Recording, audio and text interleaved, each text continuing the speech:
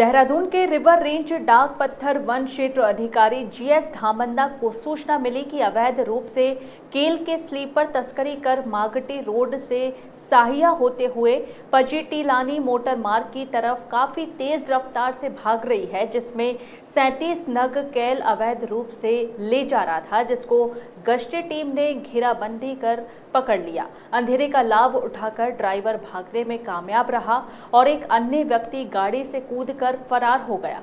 गश्ती टीम ने लोडर वाहन को पकड़कर रेंज कार्यालय ले गए और वाहन को सीज कर दिया। वहीं अभी मामले की जाँच की जा रही है। देहरादून से इंद्रपाल सिंह की रिपोर्ट। कैल के नग हैं, सैंतीस नग हैं और हमने रात जो है ग्यारह पचपन के आसपास ये गाड़ी पकड़ी है। ये आपका जो है मागटी रोड से ये कौन की तरफ़ जा रहा था तो हमने पजेटी रोड पे ना वो अंधेरे का फ़ायदा उठा के भाग गए।